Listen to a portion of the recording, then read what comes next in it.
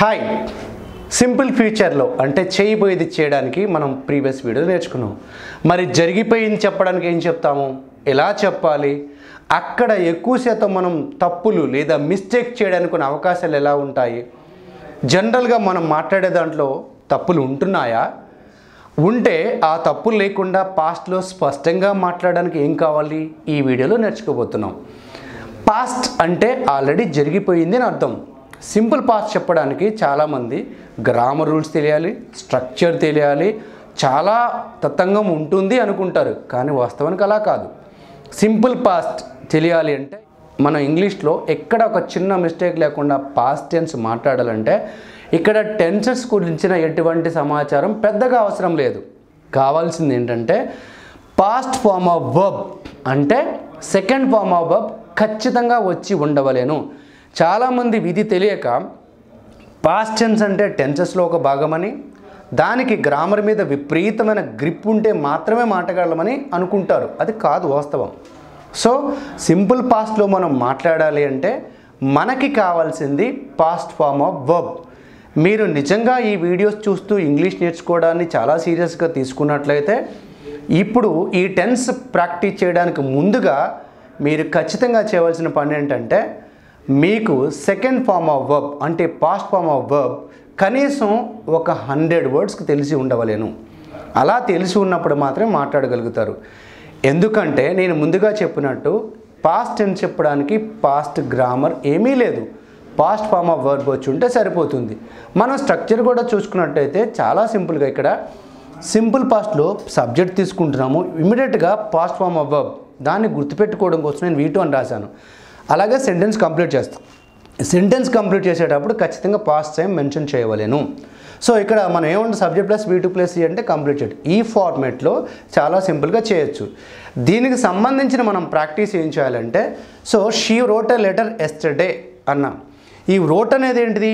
Past form of verb yesterday అనేది ఏంటిది? ఖచ్చితంగా సింపుల్ పాస్ట్లో రూల్ ప్రకారం పాస్ట్ టైం మెన్షన్ చేయవలేను కాబట్టి ఈ పాస్ట్ అనేది చెప్పడం జరిగింది. ఇప్పుడు సింపుల్ పాస్ట్ చెప్పాలంటే మనకి ఏముండాలి? అంటే పాస్ట్ ఫార్మ్ ఆఫ్ వర్బ్ వచ్చి ఉండవలేను.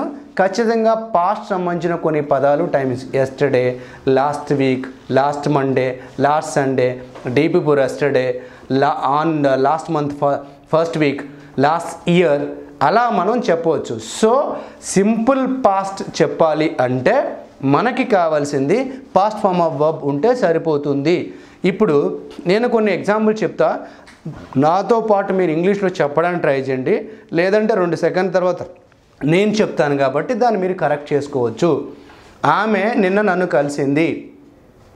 షీ మెట్ మీ ఎస్టర్డే అతను ఒక పుస్తకం కొన్నాడు. మొన్న. He bought a book day before yesterday నేను సింపుల్ ఫ్యూచర్ నేర్చుకున్నాను రెండు రోజుల క్రితము. I learnt simple future before two days.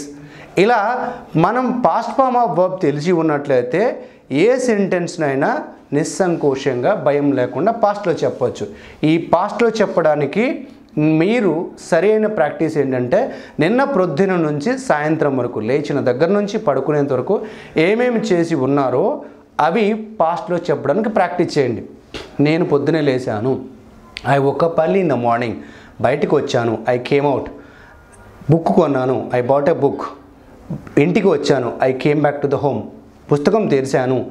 I open the book చదివాను. I read the book for some time అది అర్థం చేసుకున్నాను. ఐ అండర్స్టూడ్ ద కాన్సెప్ట్ దానిలో ముఖ్యమైన విషయాలు నోట్స్లో రాశాను. I wrote the or I gathered the main important points and I wrote in my notebook చాలా సంతృప్తిగా సంతృప్తి పడ్డాను. అంటే ఇక్కడ పడ్డానంటే ఐ హ్యాపీ ఫెల్ డౌన్ అనకూడదండి. ఐ ఫెల్ట్ హ్యాపీ అనాలి. చాలామంది తెలియక ట్రూ ట్రాన్స్లేషన్ చేస్తూ ఉంటారు. అలా ట్రూ ట్రాన్స్లేషన్ చేస్తే ఇంగ్లీష్ కాదు కానీ పక్కవాడికి చాలా ఇబ్బందిగా అనిపిస్తుంది. ఆ సెంటెన్స్ ఫార్మేషన్ ఏది కరెక్ట్ అవుతుందో అదే రావాలి. అలాగే క్లాస్కి వచ్చాను. ఐ కేమ్ టు క్లాస్ క్లాస్లో కూర్చున్నాను. I sat in the class నేను లెసన్ విన్నాను. I listen to the lesson very carefully practice చేశాను ఆ ప్రాక్టీస్ ఫర్ సమ్ టైమ్ బయటకు వచ్చాను ఐ కేమ్ అవుట్ నా ఫ్రెండ్తో డిస్కస్ చేశాను ఆ డిస్కస్ విత్ మై ఫ్రెండ్స్ ఇలా కనుక మీరు ఫిఫ్టీ సెంటెన్సెస్ ఆపకుండా భయపడకుండా తడబడకుండా చెప్పడం వచ్చిందంటే మీకు సింపుల్ పాస్ట్లో అద్భుతంగా మాట్లాడడం వచ్చిందంటే.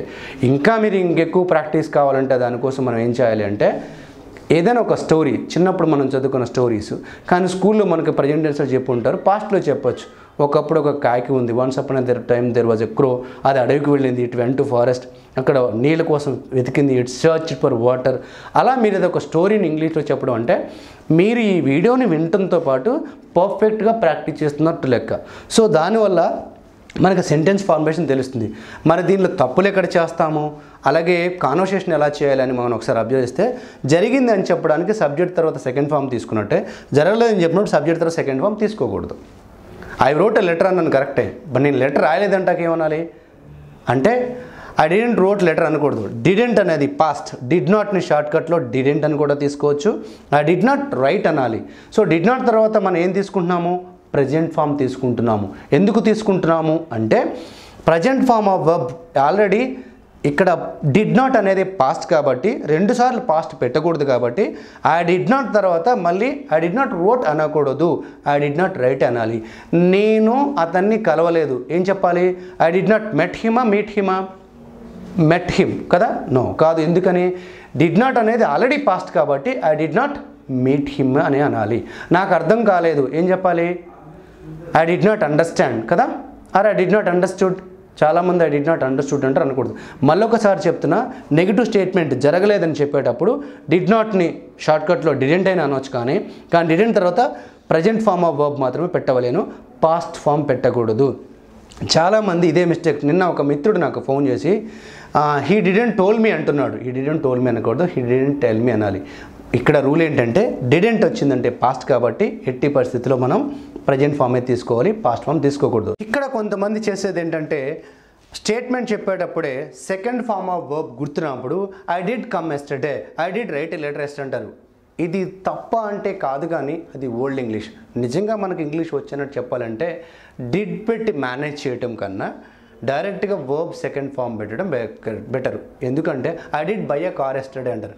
మీకు ఎప్పుడైతే verb second form of verb తెలియదో దాన్ని కవర్ చేసుకోవడానికి అన్ని స్టేట్మెంట్కి ముందు డిడ్ పెట్టి మేనేజ్ చేయొచ్చు. కానీ మరొకసారి చెప్తున్నా అది స్పష్టతమైంది కాదు. అంత మనం ఇంప్రెసివ్ ఇంగ్లీష్ అయితే కాదు. కాబట్టి సెకండ్ ఫామ్ ఆఫ్ వర్బ్ నేర్చుకోవడం బెటర్. నౌ స్టేట్మెంట్స్ లేదా క్వశ్చన్స్ స్టేట్మెంట్ చెప్పుకున్నాము నెగిటివ్ స్టేట్మెంట్ చెప్పుకున్నాము క్వశ్చన్స్ ఎలా అడగాలి? నిన్న నువ్వు ఎగ్జామ్ రాసావా అని అడగాలంటే యూ రోట్ ఎగ్జామ్నా జనరల్గా మనం అడిగేది ఏంటంటే ఈ క్వశ్చన్ ఫార్మాట్ తెలియక ఈ నా ఎందుకు పెడుతున్నాము? నువ్వు రాసావా? అనడానికి నా పెడుతున్నాము కానీ వాస్తవానికి అలా పెట్టకూడదు. యూ రోట్ ఎగ్జామ్నా యూ కేమ్ ఎస్టర్డే యూ అటెండ్నా యూ అండర్స్టూడ్ వాస్తవానికి ఇవి క్వశ్చన్స్ కావండి. మనకి క్వశ్చన్ ఫార్మేట్ చెప్పడం చేతగాక స్టేట్మెంట్ని ఉపయోగిస్తూ ఎక్స్ప్రెషన్ ద్వారా దాని క్వశ్చన్ అనే ఫీలింగ్ తీసుకొస్తున్నాం తప్పితే అది క్వశ్చన్ కాదు. సో ఇప్పుడు క్వశ్చన్ చేయాలంటే ఏం చేయాలి? డిడ్ ముందు తీసుకోవాలి. Did you come yesterday did you understand did you write the letter did you submit the report అనాలి తప్పితే యూ సబ్మిటెడ్ నా you submitted report you came here now అనకూడదు. ఏం చెప్పాలి? డిడ్తో స్టార్ట్ చేయాలి. డిడ్ తర్వాత సబ్జెక్ట్ రావాలి. డిడ్ వచ్చిన తర్వాత ప్రజెంట్ ఫామే వస్తుంది? పాస్ట్ ఫామ్ రాదు. Did you wrote a letter అన్న కూడా తప్పే. ఎందుకు తప్పు? డిడ్ అనేది పాస్ట్ కాబట్టి మళ్ళొకసారి ప్రజెంట్ ఫామ్ తీసుకోకూడదు. పాస్ట్ ఫామ్ తీసుకోకూడదు. ప్రజెంట్ ఫామ్నే తీసుకోవాలేను. సో క్వశ్చన్ చేయాలంటే ఏం చేయాలి? డిడ్ తీసుకోవాలి. ప్రజెంట్ ఫామ్ తీసుకోవాలి. సో డిడ్ యూ అండర్స్టాండ్ నీకు అర్థమైందా? ఇదే నెగిటివ్లో చెప్పాలంటే మీరు ఈ పని చేయలేదా? జరగలేదా అని అంటాక ఏం చేస్తాము? డిడెంట్ అని చెప్తాం మనం. సో జరగలేదా? మీరు సినిమా చూడలేదా? యు డెంట్ వాచ్ మూవీనా అనకూడదు. డిడెంట్ యూ వాచ్ మూవీ ఎప్పుడైనా డిడ్తోనే స్టార్ట్ చేయాలి. మళ్ళొకసారి చెప్తున్నా ఇంగ్లీష్లో రూల్ ఏంటంటే సబ్జెక్ట్తో స్టార్ట్ చేస్తే అది ఎట్టి పరిస్థితుల్లో క్వశ్చన్ కాదు. మనం క్వశ్చన్ లాంటి ఎక్స్ప్రెషన్ ఇచ్చినప్పటికీ వాస్తవంగా అది క్వశ్చన్ కాదు. ఎదుటి వాళ్ళకి అర్థమవుతుంది కదా ఇందులో పెద్ద తప్పే ఉంది అనుకోవద్దు. మేము ఎక్స్పెక్ట్ చేస్తుంది మీరందరూ స్పష్టంగా భయపడకుండా తప్పులు లేకుండా మాట్లాడాలి కాబట్టి ఈ చిన్న చిన్న విషయాల మీద మనం ఫోకస్ చేస్తే ఇంగ్లీష్ అద్భుతంగా మాట్లాడచ్చు. మరోసారి చెప్తున్నా క్వశ్చన్ చేయాలంటే డిడ్తో కానీ నెగిటివ్ క్వశ్చన్ చేయాలంటే డిడెంట్తో స్టార్ట్ చేయాలి తప్పితే ఎక్కడ కూడా డైరెక్ట్ స్టేట్మెంట్ చెప్తూ మనం క్వశ్చన్ ఎక్స్ప్రెషన్ ఇవ్వకూడదు. యూ రోట్ ఎగ్జామ్నా అని కానీ డిడెంట్ యూ డెంట్ రైట్ ఎగ్జామ్నా అని కానీ అనకూడదు. క్వశ్చన్ అయితే డిడ్తో నెగిటివ్ క్వశ్చన్ అయితే డిడ్తో స్టార్ట్ చేయాలి. ఇప్పుడు మీకు ఒక కాన్వర్సేషన్ నేను చెప్తాను. నాతో పాటు ఇంగ్లీష్ చెప్పడానికి ట్రై చేయండి. మీరు కూరగాయలు కొన్నారా? క్వశ్చన్ ఆన్సర్ అది. క్వశ్చన్ కాబట్టి దాన్ని డిడ్తో రాసిన డిడ్ యూ బై వెజిటబుల్స్ అవును కొన్నాను నేను. ఎస్ ఐ బాట్ వెజిటబుల్స్ మీరు కొన్న కూరగాయలు కొనలేదా?